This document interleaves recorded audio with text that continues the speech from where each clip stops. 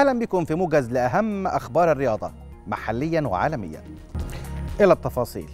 نجح فريق حرس الحدود في تحقيق الفوز على فريق نادي الترسانة بنتيجة 3-2 في المباراة اللي أقيمت بينهم باستاد حسن الشاذلي ب 100 عقبة في الجولة الأولى من دوري الترقي المؤهلة للدوري المصري الممتاز لكرة القدم.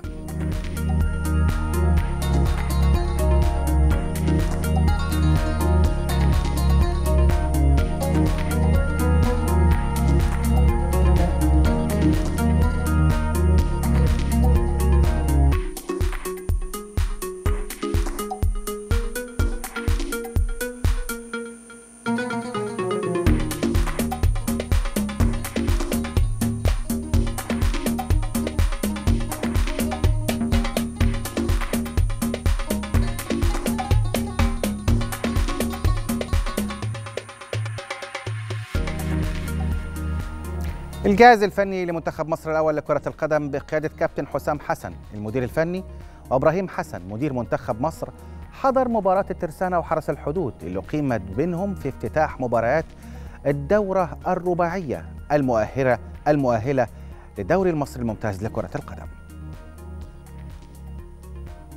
نادي بيراميدز أعلن عن تمديد تعاقده بشكل رسمي مع المهاجم الشاب إبراهيم عادل قائد المنتخب الأولمبي المصري وده استمرارا لسياسة إدارة النادي السماوي في الحفاظ على العناصر والركائز الأساسية لفريق الكرة الأول. من وأنا صغير وأنا بحلم أبقى أحسن واحد.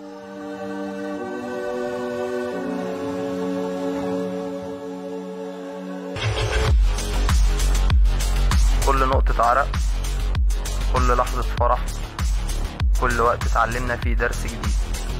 هنا لقيت العيلة اللي ما كنتش عارف إني بدور عليها. العيلة اللي بتقف في ظهرك. المكان اللي يزقك كل يوم إنك تكون أحسن من اليوم اللي قبله عيلة أنا جزء منهم وهم جزء مني. حلم مكمل أنا إبراهيم أما بعثة الناشئين في منتخب مصر للمصارعة سافرت الأردن امبارح استعدادا للمشاركة في البطولة العربية خلال الفترة من الثاني والعشرين حتى الخامس والعشرين من شهر مايو الجاري. كيليان إمبابي نجم نادي باريس سان جيرمان توج بجائزة هداف الدوري الفرنسي للموسم المنتهي 2023 2024 وده للمرة السادسة على التوالي. ساهم إمبابي في تسجيل 34 هدف خلال 29 مباراة في الدوري الفرنسي لكرة القدم خلال الموسم الحالي. سجل 27 هدف خلال الموسم الحالي وقدم سبع تمريرات حاسمة.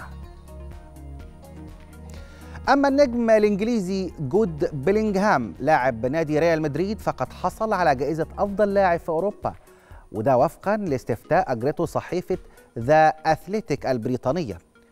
اختارت ذا أثليتيك بيلينغهام كأفضل لاعب في أوروبا خلال هذا الموسم وأفضل لاعب شاب في أوروبا.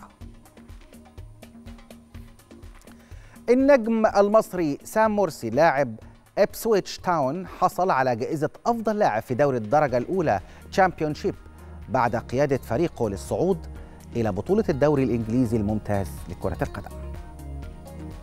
أما النجم كول بالمر فقد توج بجائزة لاعب الموسم في الدوري الإنجليزي البريمير ليج وده خلال موسم 2023 2024 من رابطة المحترفين بتصويت الجمهور. بيب جوارديولا مدرب فريق مانشستر سيتي حصل على جائزة أفضل مدرب في بطولة الدوري الإنجليزي موسم 2023 2024 من رابطة البريمير ليج. وبكده خلصت نشرتنا الرياضية. نعود مرة أخرى لاستكمال باقي فقرات صباح الخير مصر.